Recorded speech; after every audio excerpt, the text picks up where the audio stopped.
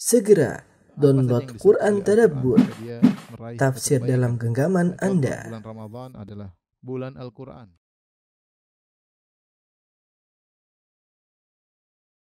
Assalamualaikum warahmatullahi wabarakatuh.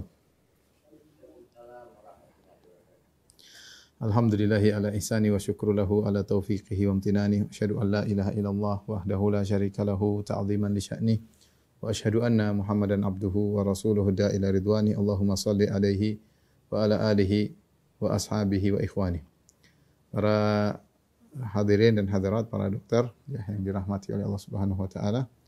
Topik yang kita bahas pada kesempatan kali ini adalah tentang orang-orang yang akan mendapat naungan di padang mahsyar. Suatu padang yang Allah siapkan ya untuk mengumpulkan seluruh manusia. Qul innal awwalina wal akhirina lamajmu'una ila miqati yaumin ma'lum. Katakanlah seluruh ya manusia dari yang awal sampai yang akhir semuanya akan dikumpulkan pada hari yang telah ditentukan. Ya, hari tersebut adalah hari yang sangat dahsyat. Ya. Uh, pada hari tersebut ya, Allah Subhanahu wa taala akan menurunkan matahari dalam jarak satu mil.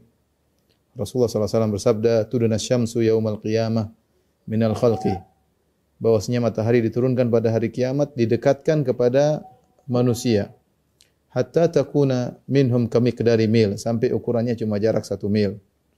Qala Sulaim bin Amir, "Fa wallahi ma adri ma ya'ni bil mil ama safatal ardi amil mil alladhi tuktahalu bihil ain. Saya tidak tahu yang dimaksud oleh Nabi dengan al-mil adalah jarak al-mil ya sekitar 1,7 atau 1,8 kilo atau ke al-mil adalah alat yang digunakan untuk bercelak. Ya. Fayakunu nasu ala qadri a'malihim. Ketika matahari sangat dekat maka manusia kondisinya sesuai dengan kadar amalan mereka fil arak dalam masalah keringat. Keringat yang bercucuran dari tubuh mereka berdasarkan amal mereka. Faminhum man yakunu ila ka'baihi. Di antara mereka ada yang keringatnya sampai pada kedua mata kakinya. Wa minhum man yakunu ila rukbataihi. Di antara mereka ada yang amalnya kurang sehingga kemudian keringatnya sampai pada kedua lututnya. Wa minhum man yakunu ila haqawai.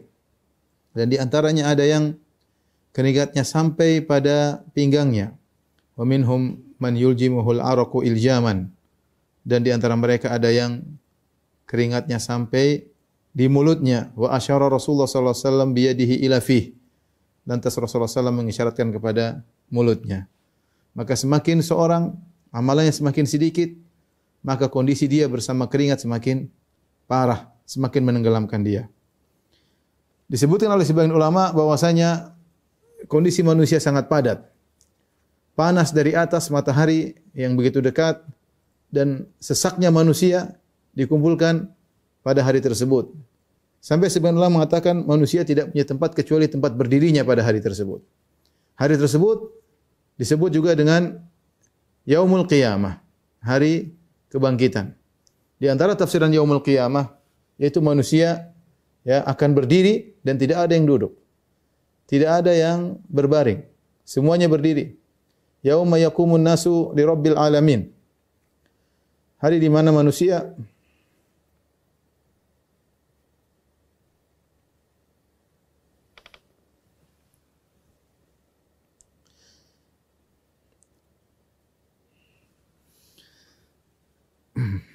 hari di mana manusia akan berdiri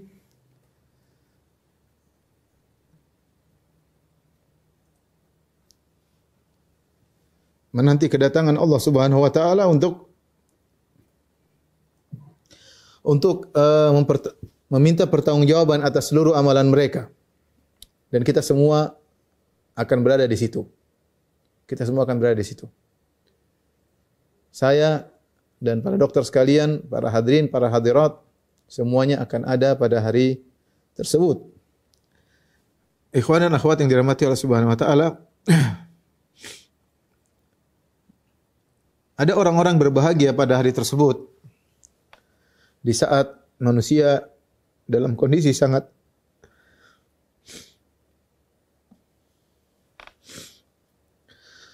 dalam kondisi sangat kepanasan dari arah atas, demikian juga mereka yang sesak, panas dengan keringat yang bercucuran, dengan dempet-dempet. ada orang-orang yang bahagia di mana mereka dinaungi oleh naungan Allah Subhanahu wa taala. Nabi menyampaikan dalam hadisnya, hadis yang diriwayatkan oleh Abu Hurairah radhiyallahu anhu. Ani Nabi sallallahu alaihi wasallam maqal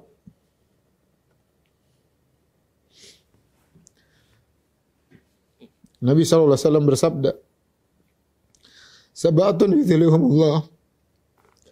Tujuh golongan yang Allah naungi pada hari di mana tidak ada naungan kecuali naungan Allah Subhanahu wa taala.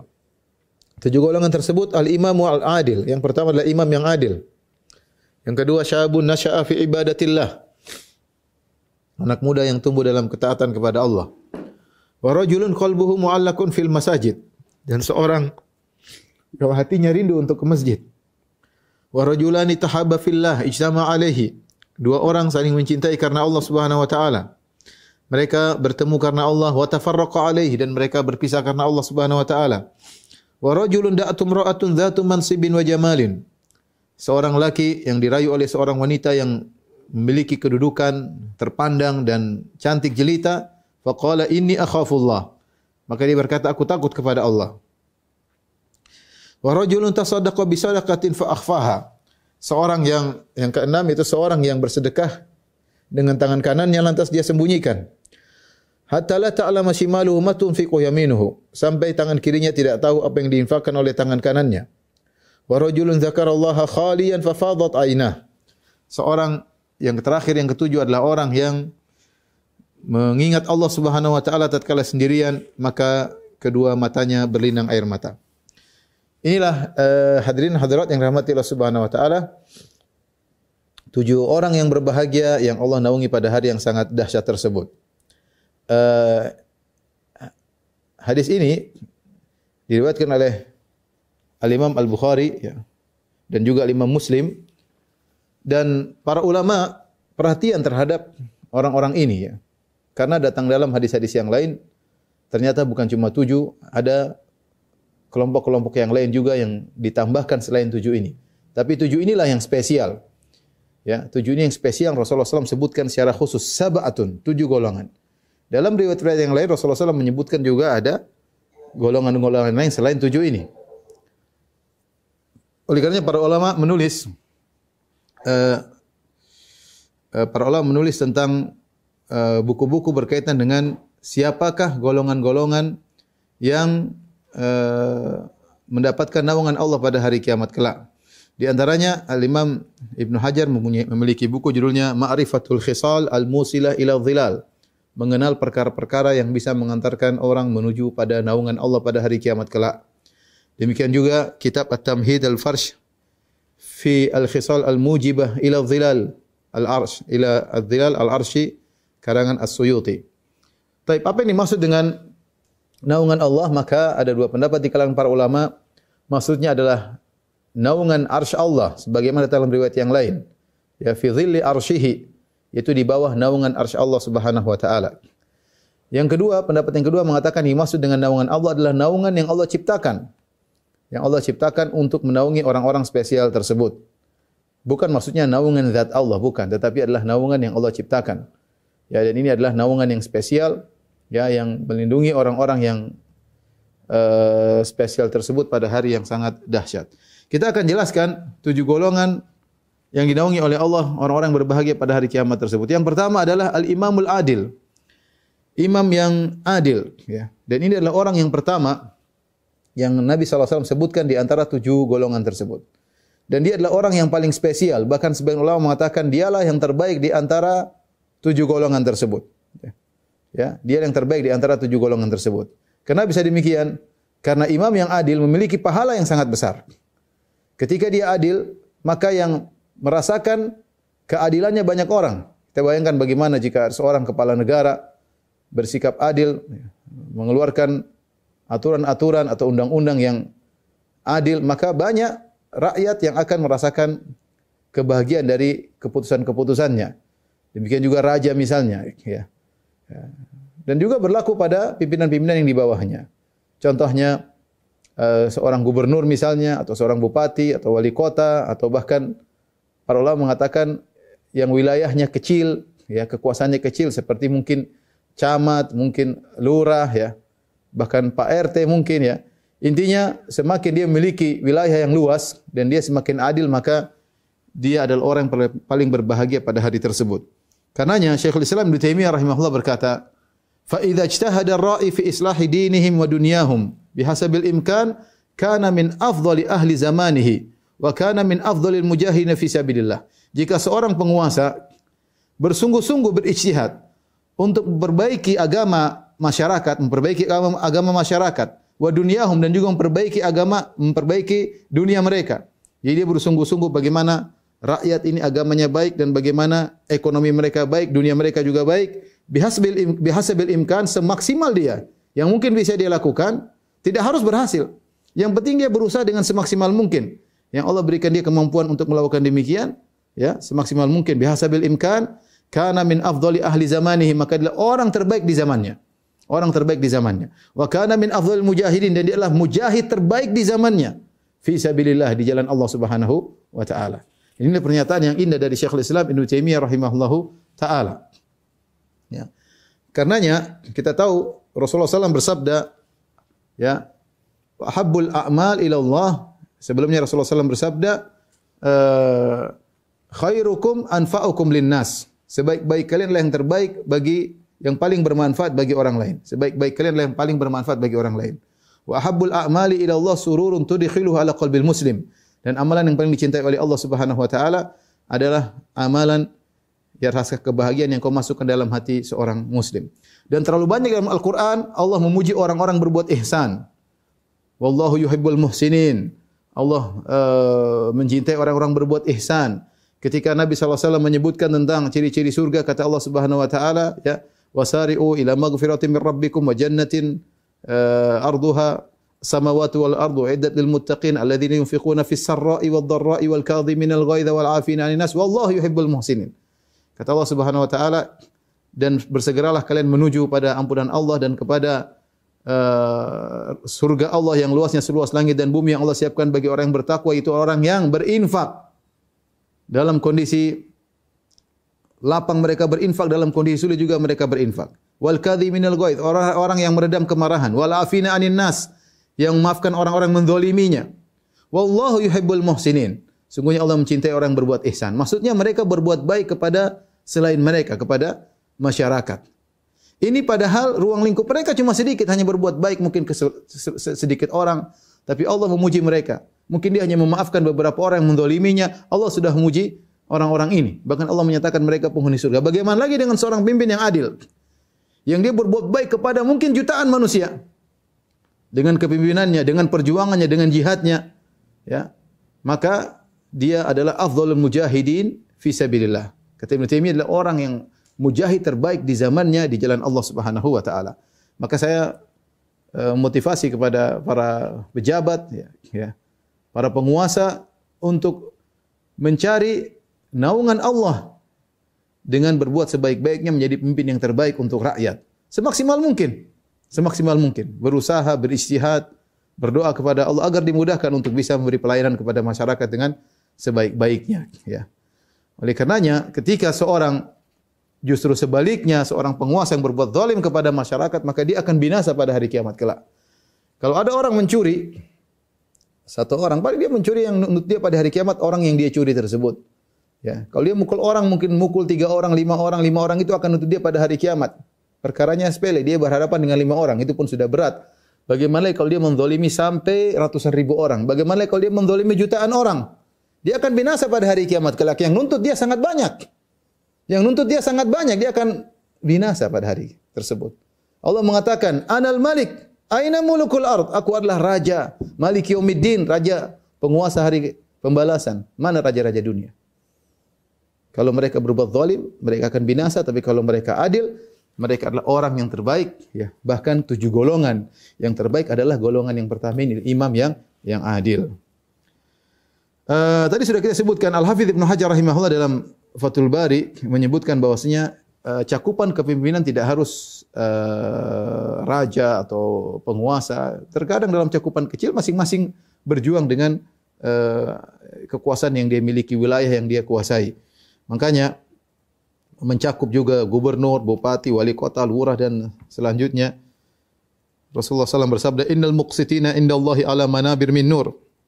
Sungguhnya orang yang berbuat adil di sisi Allah pada hari kiamat akan berada di atas mimbar-mimbar yang terbuat dari cahaya. Kemudian Rasulullah SAW menjelaskan siapa mereka orang-orang adil ini yang akan dimuliakan di atas mimbar-mimbar yang Allah buat dari cahaya mereka dimuliakan, dilihat oleh orang, dijadikan tersohor oleh Allah Subhanahu wa taala pada hari kiamat. Alladzina ya'diluna fi hukmihim, yaitu orang-orang yang adil dalam keputusan-keputusan mereka. Wa ahlihim, berbuat adil kepada keluarga mereka wa mawulu dan berbuat adil kepada perkara yang mereka uh, yang di yang ke, apa saja yang ada di bawah urusan mereka. Jadi uh, ini golongan pertama yang uh, dimuliakan oleh Allah, dinaungi oleh Allah pada hari kiamat di saat orang-orang dalam kondisi sedang kepanasan, di bawah terik yang sangat panas, maka dia dalam kondisi tentram, teduh karena berada di bawah naungan spesial, bukan naungan sembarangan, naungan Allah Subhanahu wa taala. Yang naungan yang Allah ciptakan untuk menjadikan dia teduh pada hari tersebut. Golongan yang kedua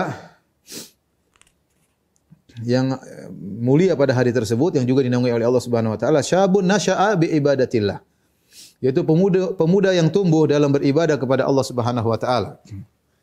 Uh, dipilih kata pemuda uh, karena berat bagi seorang pemuda untuk bisa istiqamah, untuk bisa uh, taat kepada Allah.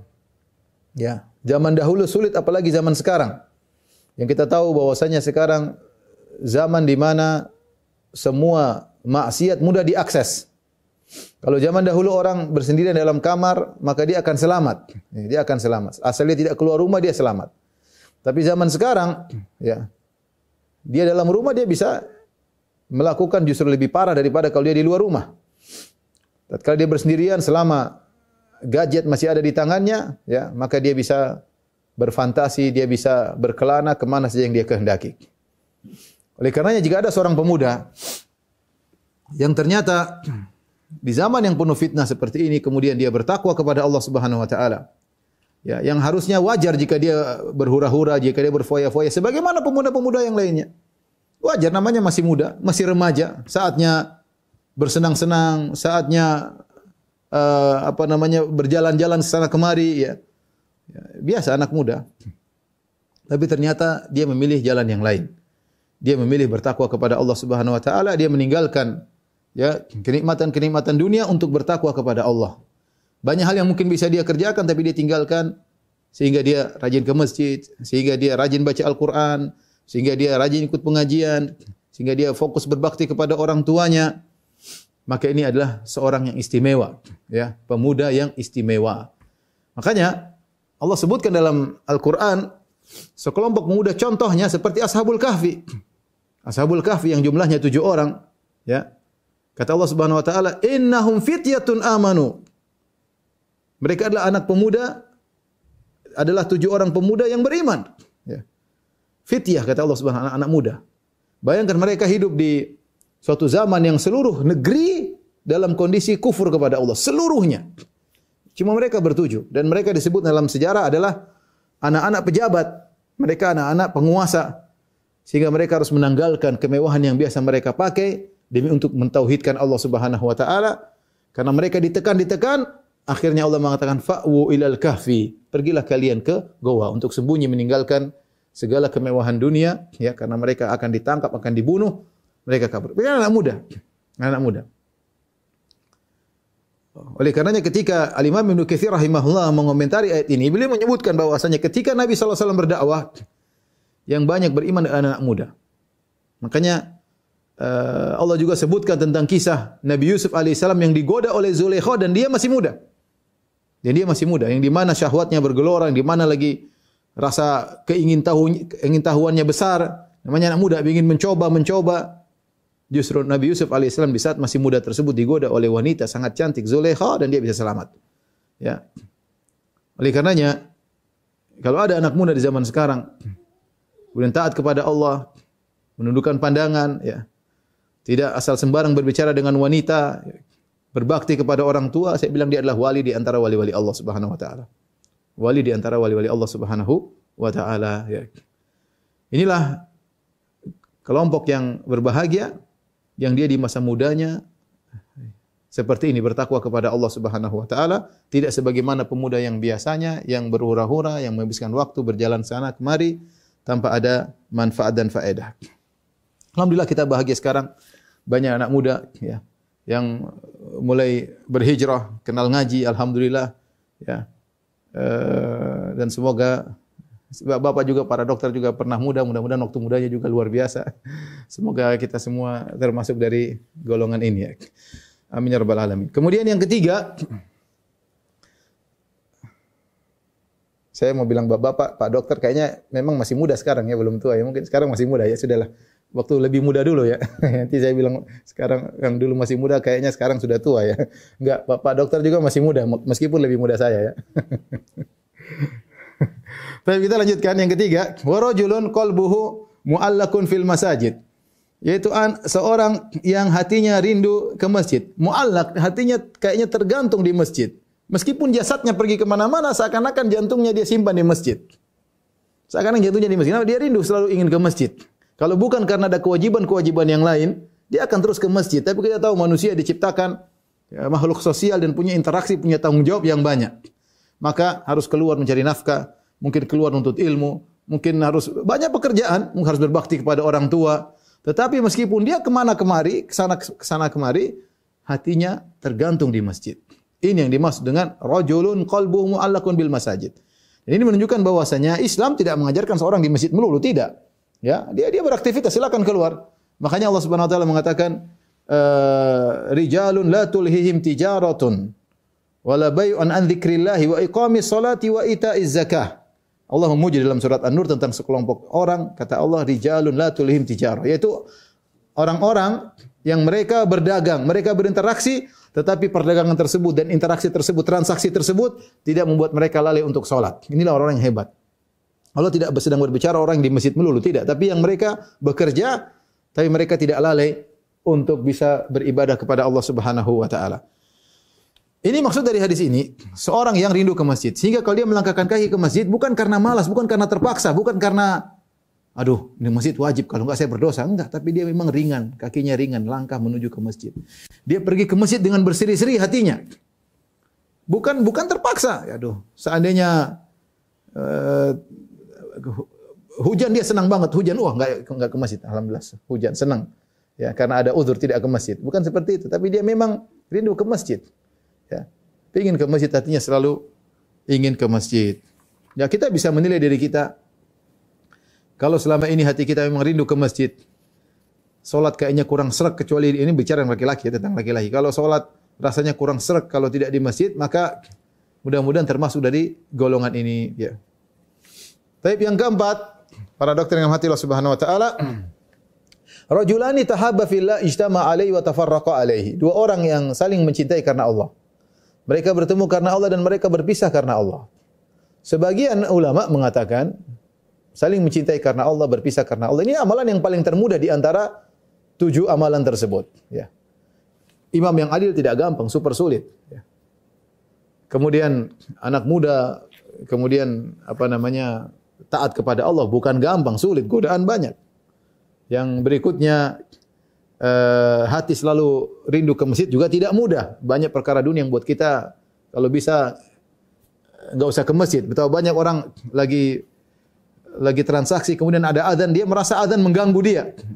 Dia lagi rapat dia merasa adzan mengganggu dia, dia merasa terganggu. Ya. Kalau bisa dia jamaah salat dia jamaah salat. dia merasa terganggu ya. Tidak gampang. Dia, kemudian yang nanti yang kelima seorang lelaki digoda oleh perempuan cantik jelita, kemudian kaya raya, Kemudian dia bilang saya takut kepada Allah, lebih sulit lagi. Yang keenam, seorang yang bersedekah kemudian dia sembunyikan amalan solehnya sampai orang-orang tidak ada yang tahu. Yang ketujuh adalah orang yang bersendirian kemudian menangis karena Allah Subhanahu Ini semua amalan sulit yang paling mudah ini kata sebagian ulama. Di antara rahmat Allah, Allah menjadikan salah satu amalan yang mudah dilakukan tetapi termasuk dari orang yang dinaungi oleh Allah Subhanahu wa taala. Siapa? Dua orang saling mencintai karena Allah, bertemu karena Allah, berpisah karena Allah Subhanahu wa taala. Itu dia dan ini mudah. Ketemu kawan, kita berteman dengan dia, bukan karena dia pejabat, bukan karena dia orang kaya tidak, tapi kita sama-sama ngaji. Sama-sama ngaji, sama-sama mikirin dakwah, ya, sama-sama nyambung bicara masalah agama. sama-sama risau tentang uh, bagaimana Islam, bagaimana perkembangan Islam di tanah air, ya bagaimana bisa mencerdaskan umat Islam, ya bagaimana bisa ya memikirkan bagaimana ya apa namanya akhirat sama-sama berorientasinya adalah akhirat. Ini teman-teman seperti ini. Ya, kalau kita dapatkan pegang erat-erat. Tidak mudah kita mencari persahabatan karena Allah Subhanahu wa taala. Kalau persahabatan karena dunia banyak. Persahabatan karena sama-sama hobi banyak. Sama-sama hobi bola jadi sahabat. Ya, sama-sama suka yang menonton bioskop ya, sama suka ke diskotik ada sahabatnya banyak. Ya.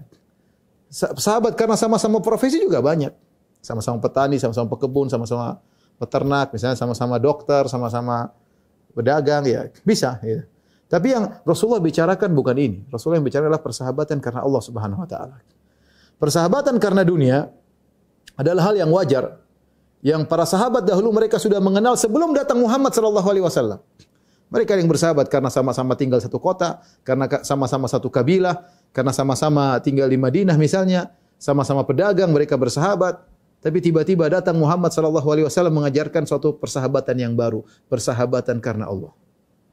Ini yang mereka baru dengar, ada persahabatan karena Allah Subhanahu wa taala.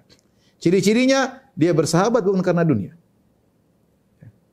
Nah, persahabatan yang karena Allah ini, ya, jika terjadi permasalahan, tidak mudah retak, tidak mudah berpisah. Dia tahu bahwasanya temannya tidaklah sempurna, sebagaimana dirinya tidak sempurna. Ya, kalau dia bersahabat karena Allah, dia tahu bahwasanya konsekuensi persahabatan dia maafkan saudaranya. Tidak sebagaimana relasi yang terjadi banyak terutama ibu-ibu ya tadinya dekat begitu bertengkar kemudian ya, seperti dua mata magnet yang tidak kutub mata tidak pernah ketemu ya. kadang malah marah-marahan kadang tadinya padahal jalan bareng-bareng tiba-tiba bertengkar ini menunjukkan persahabatan mereka bukan karena Allah Subhanahu wa taala persahabatan karena duniawi karena karena syahwat karena sekedar kelezatan berteman yang dimaksudkan dalam hadis ini adalah orang yang berteman bersahabat karena Allah Subhanahu wa taala orientasi sama-sama akhirat berbicara sama akhirat eh, dunia ya ada masing-masing punya urusan dunia tapi mereka bersahabat karena memikirkan akhirat. Contoh Abu Bakar dan Umar radhiyallahu anhuma mengalami eh, perdebatan dalam beberapa kali kejadian ya. Sampai pernah Umar mengangkat suara, Abu Bakar angkat suara. Tapi apakah mereka kemudian ribut setelah itu? Tidak. Mereka saling memaafkan, mereka dekat. Karena mereka tahu persahabatan karena Allah berkonsekuensi untuk saling uh, memaafkan. Kemudian mereka juga berpisah karena Allah Subhanahu wa taala. Apa maksudnya berpisah karena Allah? Ada beberapa pendapat. Ada yang mengatakan berpisah karena Allah yaitu eh, pertama mereka bertemu karena Allah dalam majelis mereka dan ketika mereka berpisah dari majelis masih dalam kondisi saling mencintai karena Allah. Jadi mereka berpisah masih saling mencintai karena Allah. Ini tafsiran pertama. Tafsiran kedua, mereka terus bersahabat sampai mereka meninggal dunia, ya, dan mereka eh, tidak terpisah kecuali salah satu meninggal dunia dalam kondisi saling mencintai karena Allah. Persahabatan yang langgeng sampai meninggal. Yang ketiga, berpisah karena Allah dengan tafsiran satunya ternyata mulai, mulai menyimpang, ya punya pemikiran yang menyimpang atau menyuruh kepada kemaksiatan, maka dia harus berpisah. Tidak bisa kita lanjutkan lagi persahabatan kita karena engkau melakukan kemungkaran dan saya tidak mungkin bersahabat dengan orang yang selalu melakukan kemungkaran. Maka dia berpisah karena Allah Subhanahu wa taala. Ini salah satu tafsiran. Tafsiran yang berikutnya, yang keempat maksudnya berpisah karena Allah itu masing-masing harus punya ibadah tersendiri. Dia ketemu, bersahabat, bercengkerama, asik kita ngobrol sama kawan. Tapi ada saatnya saya harus pulang. Kalau kita ngobrol terus, kapan kau baca Quran, kapan saya baca Quran. Kapan kau sholat malam, kapan saya sholat malam. Ya. Kapan kau bisa berbakti sama orang tua kalau kita ngobrol terus. Ini juga peringatan kepada kawan-kawan bersahabat jangan berlebihan. Ketemu ngobrol tiap hari. Ya. Kapan kita mau punya ibadah sendiri dengan Allah antara hablum, hablum minallah, punya hubungan dengan Allah dengan hubungan yang baik. Kita bersahabat karena Allah ada waktunya, ada aturannya. Banyak kewajiban yang harus kita kerjakan, banyak hak yang harus kita tunaikan. Di antaranya kita berusaha untuk bisa berkhulwat berdua-duaan dengan Allah dengan ibadah antara kita dengan Allah Subhanahu wa taala. Tapi yang kelima, rajulun da'atum ra'atun dzatu mansibin wa jamalin faqala inni akhafullah. Orang yang dinaungi oleh Allah Subhanahu wa taala seorang lelaki yang dirayu oleh seorang wanita. Dan wanita ini bukan sembarang wanita, bukan wanita murahan, ini wanita zatu mansibin wa jamalin, terpandang, kaya raya. Dia memiliki kedudukan. Apakah dengan hartanya, apakah dengan harkatnya, ya. Wa jamal dan kemudian cantik jelita. Wanita mana yang dicari oleh lelaki? Cantik dan kaya raya. Ya. Betapa banyak lelaki terfitnah, tergoda dengan wanita yang kaya raya meskipun nggak cantik. Nggak cantik nggak apa, yang penting kaya raya. Di servis sana sini, di traktir sana sini, orang banyak yang berguguran. Ya. Demikian juga Betapa banyak lelaki terfitnah dengan wanita meskipun miskin tapi cantik. Ya, enggak apa ada urusan mau miskin, super miskin tapi cantik jelita terfitnah. Bagaimana lagi dengan wanita yang menggabungkan keduanya? Sudah cantik jelita dan kaya raya. Betapa banyak lelaki bangga punya pacar orang kaya meskipun itu ceweknya enggak enggak cantik, tapi kaya raya dia bangga. Ya, sebagaimana betapa banyak lelaki bangga punya cewek cantik meskipun miskin, meskipun dari orang jalanan, meskipun dari keluarga miskin. Bagaimana lagi jika tergabung keduanya kaya raya dan cantik jelita? Siapa yang bisa kuat digoda oleh wanita seperti ini? Ya. Mungkin kondisi seperti ini tidak bisa dialami oleh semua orang. Mungkin kita tidak pernah digoda wanita seperti ini. Mungkin digoda sama wanita setengah cantik, setengah kaya. Tapi kalau cantik, kaya raya yang godain kita, ngapain dia godain kita? Mungkin dia godain lebih baik daripada kita ya. Tapi saya bicara tentang kondisi seorang pemuda yang luar biasa ya. Seorang lelaki lah, bukan muda. Seorang lelaki digoda wanita yang seperti ini, cantik dan kaya raya. Diajak untuk melakukan kemaksiatan, dengan tegarnya dia berkata, "Ini akhafullah." Aku takut kepada Allah Subhanahu wa taala. Aku takut kepada Allah Subhanahu wa taala. Ada yang mengatakan dia ucapkan dalam dirinya, dia ingatkan dirinya, saya takut kepada Allah. Ada yang mengatakan dia ucapkan kepada wanita tersebut, ini akhafullah, saya takut kepada Allah agar wanita tersebut menjadi jerah dan tidak lagi menggodanya. Tidak lagi menggodanya. Ya sebagian orang subhanallah diganggu oleh perempuan lewat WhatsApp-nya, lewat Facebooknya ya sudah tergoda disimpan-simpan fotonya di murojaah tiap malam ya Allah. Saya bilang ada sebagian orang Ustaz ini gimana udah hapus saya bilang kamu hapus gimana itu nggak boleh itu. Tidak halal untuk ya. ya. Dan kita tahu bahwasanya fitnah paling besar bagi lelaki adalah fitnah wanita. Kata Nabi sallallahu alaihi wasallam, "Ma taraktu ba'di fitnatan adhara 'ala rijal minan nisa." Aku tidak pernah meninggalkan fitnah setelahku yang lebih berbahaya bagi para laki seperti fitnah wanita. Contohnya tentang ini seperti Nabi Yusuf alaihissalam ya yang meninggalkan Zulekha karena takut kepada Allah Subhanahu bahkan dia kabur. Yusuf kabur dari lokasi. Maka seorang jangan pernah pede, jangan merasa saya imannya kuat, digoda wanita nggak apa-apa, mungkin sekarang nggak apa-apa, besok nggak apa-apa, lusa mungkin tergoda. Kita nggak tahu kapan titik iman kita aja lagi turun. Maka seorang kalau mulai digoda dengan wanita, mumpung imannya lagi kuat, dia segera memutuskan segala sarana yang bisa mendekatkan dia dengan hubungan yang haram tersebut. Jangan coba-coba ya. Jangan coba-coba. Banyak kejadian. Ya, kalau sudah fitnah wanita tidak ada mau sudah ngaji, mau ngaji, mau ustaz bukan ustaz, semuanya bisa tergoda. Semuanya bisa tergoda ya. Karena itulah fitnah lelaki. Itulah fitnah lelaki. Fitnah yang paling berbahaya bagi lelaki fitnah wanita. Maka jangan coba-coba kita membuka jalur, membuka eh, jalur-jalur uh, yang haram dengan uh, dengan wanita yang tidak halal bagi kita. Taib yang berikutnya yang keenam. Kata Nabi SAW, Rajulun tasaddaqa bi yamini fa akhfaha hatta la ta'lama shimalu man tufiqu yaminuhu. Seorang bersedekah dengan tangan kanannya. Kemudian dia sembunyikan sampai-sampai tangan kirinya tidak tahu apa yang disedekahkan oleh tangan kanannya. Ini adalah uh, ibarat yang Rasulullah bikin sangat indah. Rasulullah mengatakan tangan kanan, tangan kiri. Kita tahu kedua tangan ini saling dekat dan teman dekat. Kita nyetir uh, dua tangan naik sepeda, uh, dua tangan angkat barang, dua tangan ya. Semua kegiatan tangan kanan selalu didampingi oleh tangan kiri. Rata-rata seperti itu. Sehingga apa yang dilakukan oleh tangan kanan, tangan kiri selalu tahu. Karena teman sejolik. Dekat. Dan dia adalah bagian dari seorang manusia. Ini bagian tubuhnya sendiri. Namun Nabi menjelaskan tentang bagaimana orang ini benar-benar menyembunyikan amal solehnya. Sampai-sampai bagian tubuhnya tidak tahu apa yang dilakukan oleh bagian tubuh yang lain. Ini pendekatan yang luar biasa dari Nabi SAW. Ya. Bagaimana teman sejolinya yang sangat dekat tidak tahu apa yang dilakukan oleh tangan kanannya. Menunjukkan dia menyembunyikan dengan luar biasa. Dengan berusaha untuk menyembunyikan. Itu kebiasaan para ulama dahulu. Para salafus soleh.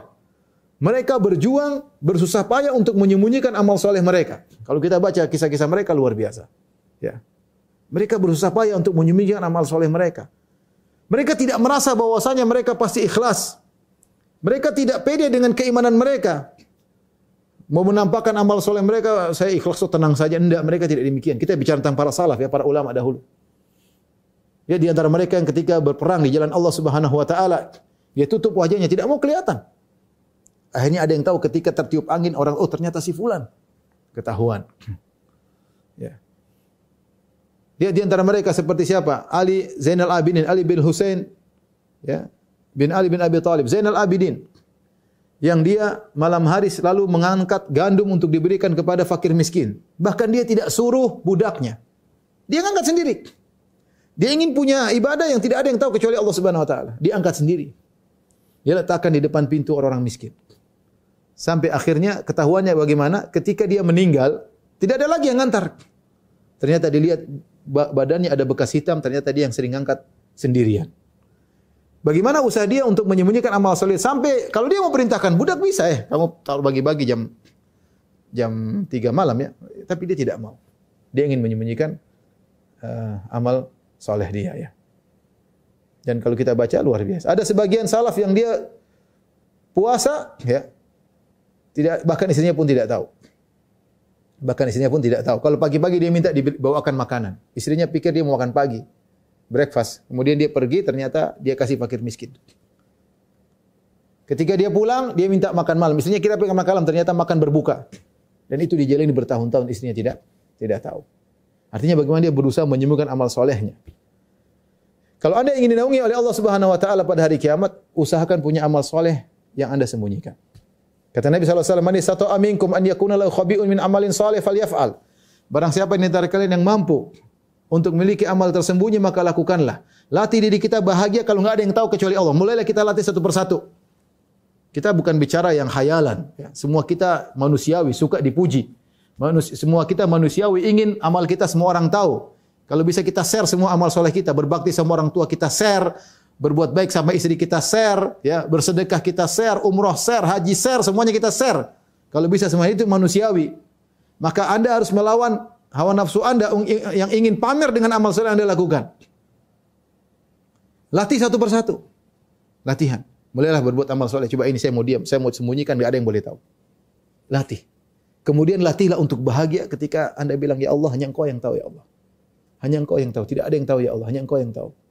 Jadikanlah ini penyelamatku pada hari kiamat kelak. Jadikanlah ini sebagai sebab aku dinaungi oleh engkau pada naunganmu pada hari kiamat kelak. Latih. Kalau anda nggak berlatih nggak bisa, harus latihan. Para salaf dulu mereka berusaha. Sementara yang bikin fitnah sekarang adalah medsos. Orang share semua amal soleh dia. Coba kita tanyakan pada diri kita, amal soleh mana kita yang kita lakukan yang tidak kita yang orang lain tidak tahu. Coba. Anda tanya, kita kita saya tidak bilang Anda, saya bilang kita. Tanyakan kepada diri kita sendiri. Mana amal soleh kita yang tahu hanya Allah? Coba cek. Adakah satu atau dua? Atau semua yang kita lakukan, semua orang pasti ada yang tahu. Entah orang dekat, entah teman, entah semua. Mana amal soleh kita yang kita lakukan, tidak ada yang tahu kecuali Allah subhanahu wa ta'ala. Latih. Itu amal yang paling bermanfaat bisa menyelamatkan seorang pada hari kiamat kelak di antaranya di padang di padang mahsyar ya. Subhanallah sebagian orang tadi terfitnah dengan medsos. Dia berbakti sama orang tua, berbakti sama orang tua luar biasa. Kemudian dia share, Alhamdulillah pagi hari ini saya telah menemani ibu saya, saya telah inilah, saya telah. Ya, kita kita tidak nuduh orang ya. Kita bilang jagal amal solehmu.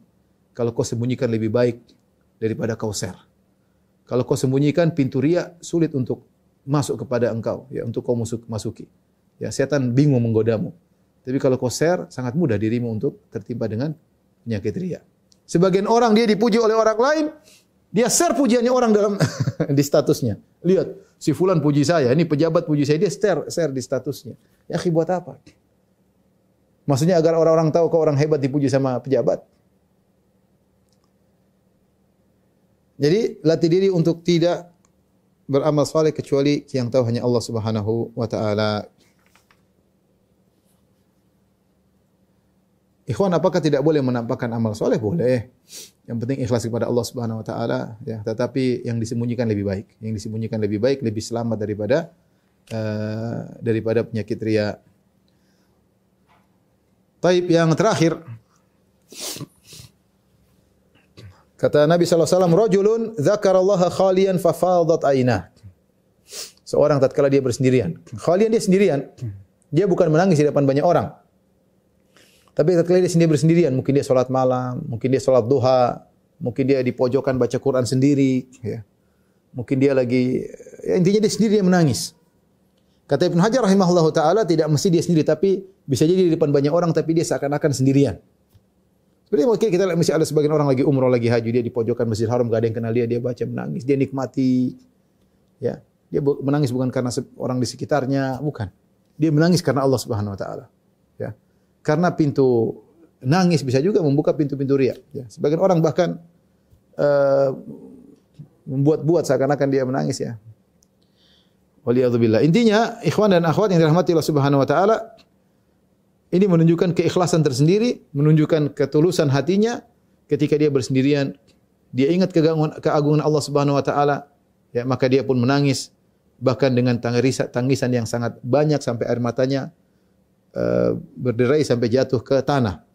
Dalam di sini Rasulullah menggunakan kata wa rajulun dzakarallaha khalian fafadat ainah. Seorang mengingat Allah tatkala dia sedang bersendirian fafadat ainah sampai matanya mengalir. Padahal yang kita tahu yang mengalir bukan mata tapi air mata. Ini menunjukkan air mata yang keluar sangat banyak ketika dia bersendirian. Ya. Bahkan dalam sebagian riwayat disebutkan ya sampai air matanya menetes ke tanah ya. Dan tadi kata Ibn Hajar rahimahullah, kalau orang sudah terbiasa seperti ini, bahkan di depan banyak orang, dia tidak peduli dengan mereka, yang dia pedulikan adalah Allah Subhanahu wa taala. Seorang mungkin sedang di pesawat, mungkin sedang di bandara, mungkin sedang di bis ya. Dia mengingat Allah, dia sendiri dia menangis, dia tidak peduli dengan orang ya. Dia juga termasuk dalam hadis ini ya.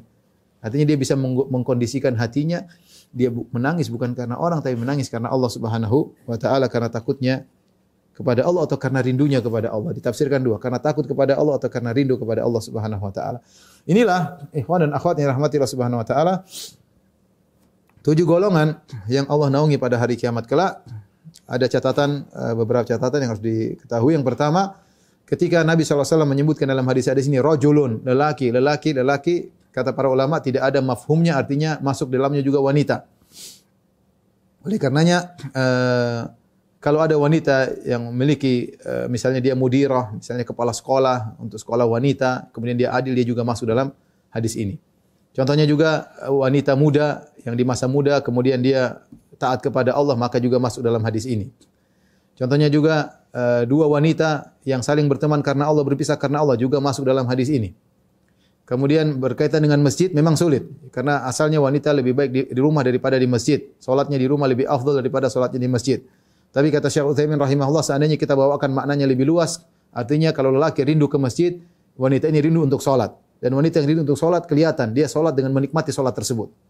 Dia salat dengan menikmati, dia salat qobliyah, dia salat kemudian dia salat ba'diyah, dia nikmati salat tersebut. Dia tunggu-tunggu kapan waktu dua untuk dia salat. Dia tunggu-tunggu kapan meskipun tidak ke masjid. Syekh Utsaimin membawakan mungkin maksudnya kalau wanita seperti ini rindu untuk segera melaksanakan salat.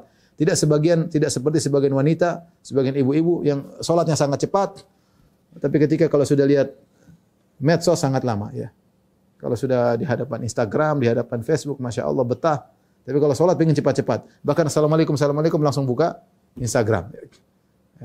Dia tidak menikmati sholat tersebut. Maka bukan dari golongan uh, tujuh ini. Kemudian uh, demikian juga wanita yang digoda oleh laki tampan dan kaya raya. Kemudian dia berkata, saya takut kepada Allah. Ya, ini juga masuk dalam golongan ini. Demikian juga wanita yang bersedekah dan dia diam-diam dia sembunyikan sedekahnya sampai tidak ada yang tahu kecuali Allah Subhanahu wa taala. Kemudian juga wanita yang bersendirian, dia ingat Allah kemudian dia pun menangis karena Allah Subhanahu wa taala, karena takut kepada Allah atau karena rindu kepada Allah Subhanahu wa taala. Catatan berikutnya, lafal tujuh tidak juga memberikan maf mafhum, artinya tidak terbatas pada tujuh tersebut. Ya, para ulama menyebutkan ada amalan-amalan uh, lain yang juga menunjukkan pelakunya dinaungi oleh Allah pada hari kiamat kelak. Di antaranya Ibnu Hajar dalam Fathul Bari menyebutkan ada amalan-amalan lain yang dihimpun dalam suatu bait syair kata Ibnu Hajar rahimahullah taala wa zid sab'atan idlala ghazin wa aunahu wa indhara dhi usrin wa takhfifa himlihi wa irfada dhi ghurmin wa auna mukatabin wa tajira sidqin fil maqali wa fi'lihi. Dan tambahkanlah dari tujuh tersebut amalan yang lain. Di antaranya menaungi dan menolong seorang yang sedang berjihad. Dinaungi diberikan peralatan untuk berjuang di jalan Allah dinaungi keluarganya ini juga termasuk dinaungi pada hari kiamat kelak, membantu orang yang sedang berjihad di jalan Allah Subhanahu wa taala. Yang berikutnya, memberikan tempo tambahan bagi orang terlilit hutang atau meringankan hutangnya. Orang itu punya hutang sama kita. Dia susah bayar, kita bilang enggak apa-apa, nanti lain kali aja. Atau kita bilang sudah kau bayar 50% saja. Ini juga termasuk perkara yang dinaungi oleh Allah pada hari kiamat kelak. Pelakunya dinaungi oleh Allah pada hari kiamat kelak. Kemudian juga Di antaranya membantu orang yang memiliki hutang untuk membayarkan hutangnya. Ada orang punya hutang dia nggak bisa bayar, kita bayarkan. Udah saya yang bayarkan aja. Kalau bisa semuanya alhamdulillah. Kalau enggak se- se- sebagiannya. Makanya kata Nabi sallallahu alaihi wasallam, "Wa ahabbul a'mali ila Allah sururun tudkhilu ala qalbi muslim." Amalan yang paling dicintai oleh Allah adalah rasa bahagia yang kau berikan kepada hati seorang muslim. Di antaranya au taqdi anhu dainan atau kau lunaskan hutang-hutangnya. Ya, Kalau kita punya kawan dekat, kita tahu orang itu bertakwa kepada Allah, dia sudah berusaha semaksimal mungkin, ternyata tidak mampu, kita lunaskan hutangnya. Kalau memang kita mampu, kalau enggak separohnya semampu kita. Ya. Kemudian di antaranya juga adalah membantu seorang budak mukatab. Mukatab adalah di zaman dahulu ada seorang budak yang dia bikin perjanjian sama tuannya, sama pemiliknya, majikannya. Dia bilang, Tuan, saya adalah milik kamu, tapi saya ingin beli diri saya. Kau hargai saya berapa? Maka misalnya tuannya bilang, kau boleh bebas dengan bayar seribu dinar. Maka dia bekerja. Dia cari uang seribu dinar, kemudian dia serahkan kepada majikannya, maka dia bebas. Nah di antara amalan yang buat seorang bisa dinaungi pada hari kiamat kelak, dibayarkan. Dia, berapa utang muslim harus dinar, dibayarin. Agar dia merdeka. Ini juga membuat pelakunya dinaungi oleh Allah pada hari kiamat kelak. Kemudian di antaranya seorang pedagang yang jujur dalam perkataan perbuatannya. Ini pedagang yang jujur sangat sulit. Ya. Zaman sekarang. Ya. Sangat sulit. Ya. Saya katakan juga termasuk para dokter. Ya, para, mohon maaf para dokter. Ya. Terutama amanah kepada pasien. Ya. Hati-hati dalam masalah memberi obat. Ya. Kalau ada obat yang bagus, kasih yang bagus. Jangan pilihkan obat yang mahal yang kita ambil keuntungan, sementara ada obat yang lebih baik daripada itu. Ya, hati-hati ya. Kita harus amanah sama pasien. Ya. Karena memang banyak yang apa namanya waspada saja saya tidak ini tapi waspada saja kita berusaha amanah jujur kepada pasien itu pintu kita untuk dinaungi oleh Allah pada hari kiamat kelak. Kalau memang ada obat yang baik lebih murah suruh beli yang murah aja. Ya. Kalau memang sama tidak apa-apa kalau sama memang kualitasnya harganya mirip-mirip tidak ada masalah. Kita kerjasama dengan eh, penjual obat. Tapi kalau ternyata ada yang lebih murah sebagai bentuk amanah seandainya kita yang jadi pasien apa yang kita inginkan? Kita inginkan dapat obat yang sesuai yang murah yang bisa menyembuhkan. Ini di antara riwayat-riwayat yang menunjukkan ada amalan-amalan lain selain tujuh golongan yang dinaungi oleh Allah Subhanahu wa taala. Kemudian di antara juga ya dalam hadis yang lain juga tentang eh, sedekah ada datang riwayat khusus bahwasanya sedekah menaungi orang pada hari kiamat kelak kata Nabi sallallahu alaihi wasallam kullu mri'in fi dhilli sadaqatihi hatta yufsala bainan nas. Setiap orang akan di bawah naungan sedekahnya sampai Allah beri keputusan menghukum di antara manusia. Jadi kalau kita punya sedekah, semakin banyak sedekah kita maka naungan kita semakin rindang, kita semakin teduh. Maka seorang jangan ragu-ragu untuk sedekah. Orang yang sedekah itu berbuat baik pada dirinya sendiri. Orang yang pelit sedekah itu dia pelit pada dirinya sendiri. Kata Allah Subhanahu wa taala, "Wa may yabkhal fa innama yabkhalu ala nafsi." Wa may yabkhal fa innama yabkhalu an nafsi. Siapa yang pelit sungguhnya dia pelit terhadap dirinya sendiri. Anda ingin susah hari kiamat? Udah, kalau Anda nggak ingin susah sedekah. Ini aset bagi Anda di akhirat. Sedekah akan datang menaungi Anda pada hari kiamat. Yang penting ikhlas kepada Allah Subhanahu wa taala. Bukan untuk ujub, bukan untuk bangga-banggaan. Eh, kemudian di antaranya seperti membaca surat Al-Baqarah dan Ali Imran. Kata Nabi SAW, Iqra'ul Qur'an fa innahu ya'ti yawmal qiyamah syafi'an li ashabihi. Bacalah Al-Quran, sungguhnya Al-Quran akan datang pada hari kiamat memberi syafaat bagi pembacanya. Iqra'u Zahrawain.